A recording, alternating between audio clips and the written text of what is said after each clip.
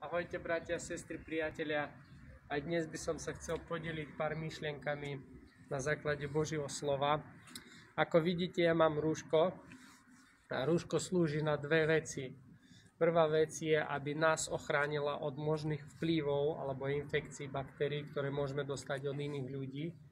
A druhá vec, že iných ľudí chráni od možných vplyvov vírusov, ktoré môžeme mať my, napríklad koronavírus. A chcel by som tento príklad s rúškom použiť na takú duchovnú aplikáciu.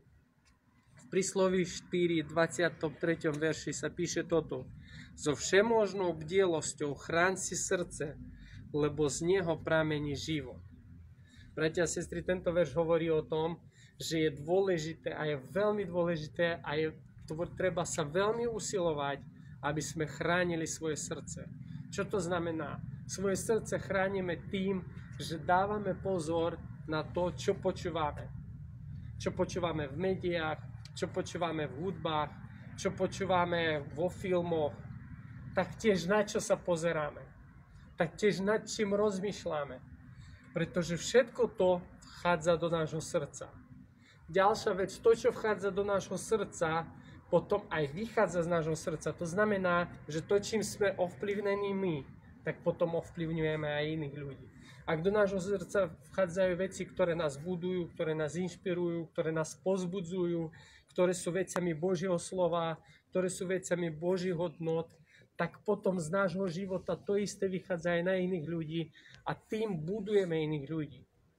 Takže bratia a sestry, chcem vás pozbudiť, aj nás všetkých pozbudiť, aby toto rúško bolo inšpiráciou, aby sme sa zamysleli na to, či máme duchovnú rúško na našom srdci, či chránime svoje srdce, pretože realita je taká, že to, čo vychádza z nášho srdca, má oveľa väčší dopad na ľudí ako koronavírus.